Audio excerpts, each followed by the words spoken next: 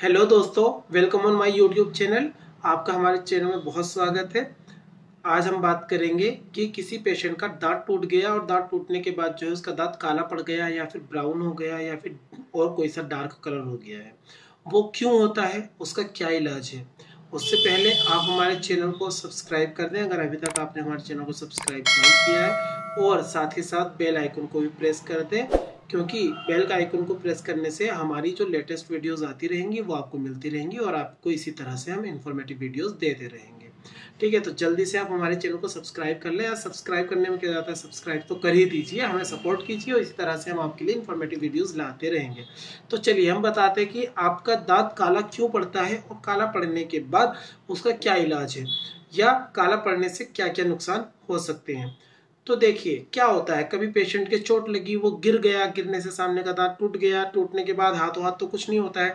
धीरे धीरे कुछ महीने बाद, कुछ साल बाद क्या होता है कि उसका रंग चेंज होने लगता है। जब पेशेंट गिरा था या किसी वजह से चोट लगी थी, उसके कोई सामान लग गया या फिर गिर गया एक्सीडेंट हो गया बाइक से, किसी भी वजह से दांत टूट गया। दांत टूटने पर उसने क्या किया? थोड़ा बहुत दर्द हुआ और मेडिसिन ले ली और जो दांत का हिस्सा टूटा था, उसमें क्या किया? उसने उसके लिए उसको ज़्यादा उसने एफर्ट नहीं लगाया या उसको ठीक नहीं कराया तो वो ऐसे ही छोड़ दिया। अब जब उसको ऐसे ही छोड़ देते हैं तो जब हमारी चोट लगती है लगने पर क्या होता है कि दांत के अंदर जो नसें होती हैं, जो ब्लड वेसल्स होती हैं, जो नर्व्स होती हैं, उन पर प्रेशर पड़ता है, उन पर दबाव बनता है। उस दबाव पड़ने की वजह से, उस प्रेशर बनने की वजह से वो धीरे धीरे धीरे धीरे जो है वो खत्म होना शुरू हो जाती है। मतलब नेक्रोज होना शुरू हो जाती है। नेक्रोज मतलब होता है कि वो दांत हमारा मरने लगता है मतलब नॉन वाइटल होने लगता है। जब वो धीरे धीरे नॉन वाइटल होने लगता है तो क्या होता है कि दांत काला ब्राउन कलर का वो दिखाई देने पड़, लगता है, जिसकी वजह से जो सामने का अपियरेंस है पेशेंट का, वो बहुत ही भद्दा नज़र आता है अच्छा नहीं लगता है देखने में। कुछ पेशेंट के जो है, जो दांत है, जो टूटा हुआ दांत है, वो पिंक कलर का नज़र आने लगता है। वो पिंक कलर का इसलिए नज़र आता है, जब हमारी जो पल्प है अंदर, यानी कि जो नर्व्स हैं ब्लड वेस्टी हैं अंदर, उसके वो जो रिजॉर्टिव सेल्स होती हैं, वो एक्टिव हो जाती हैं और अंदर की तरफ़ से दांत को जो है रिजॉर्व करने लगती हैं। इस तरह के रिजॉर्प्शन को इंटरनल रिजॉर्प्शन कहते हैं तो अंदर से दांत जो है घुलने लगता है, जो डेंटिन की लेयर है अंदर वाली, वो घुलने लगती है।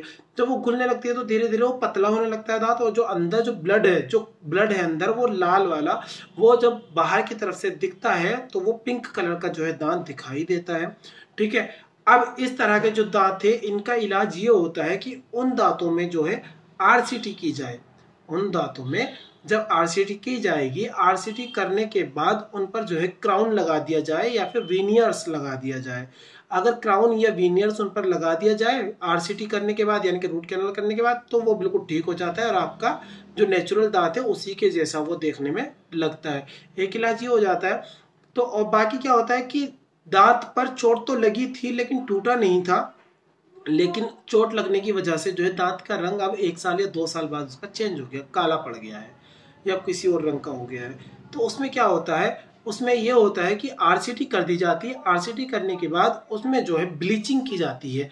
ब्लीचिंग करके भी दांत का रंग को हम वापस ला सकते हैं। वो जो ब्लीचिंग होती है, वो अंदर की तरफ़ से होती है, जब आरसीटी कर देते हैं आरसीटी करने के बाद उसी जगह से जहाँ से आरसीटी की जाती है, वहीं से जो है उसकी ब्लीचिंग शुरू की जाती है, उसके अंदर जो है मटेरियल रखा जाता है। वो मटेरियल क्या होता है? वो सोडियम परबोरेट एक मटेरियल होता है, उसको जो है दांत के क्राउन वाले पोर्शन में अंदर की तरफ़ से उसमें रख दिया जाता है, एक से दो हफ़्ते के लिए, और वो अंदर से अंदर ही उसके जो इतने भी स्टेन हो चुका है, जो रंग चुका है, उसको धीरे धीरे धीरे धीरे वो जो है अंदर से ऑक्सीडाइज कर देता है, जिसकी वजह से जो दांत का पहले वाला रंग था वो वापस आने लगता है और इसमें जो है एक से दो हफ़्ते लगते हैं। लेकिन इस तरह की जो प्रोसेस होती है, इसको कहते हैं वॉकिंग ब्लीच और ये वॉकिंग ब्लीच जो है सिर्फ़ और सिर्फ़ रूट कैनाल हुए हुए दांतों में ही रूट कैनाल जो ट्रीटमेंट है, उनमें ही किया जाता है। जो वाइटल दांत है, उनमें नहीं किया जाता है। उनमें दूसरी ब्लीचिंग की जाती है, वो पूरा एक अलग टॉपिक है, उसमें वो भी हम किसी न किसी वीडियो में बताएँगे आपको।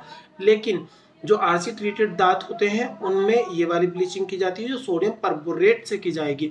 और सोडियम परबोरेट के साथ जो है, और अच्छा रिज़ल्ट लाने के लिए उसमें हाइड्रोजन परोक्साइड को मिक्स किया जा सकता है। उसको अगर मिक्स करके लगाएँगे तो रिज़ल्ट और अच्छा और जल्दी आता है।